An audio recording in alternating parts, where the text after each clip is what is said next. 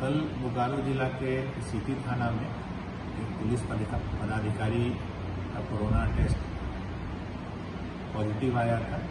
उसके बाद जो जो एसओपी होता है उसका पालन किया गया। सभी वहाँ के कर्मचारी अधिकारीगण सभी का सैंपलिंग किया गया। है सैंपलिंग के बाद जैसा रिपोर्ट आएगा, आगे की कार्रवाई की जाएगी। तब तक सभी पदाधिकारी और जवान को क्वारंटाइन कर दिया गया है।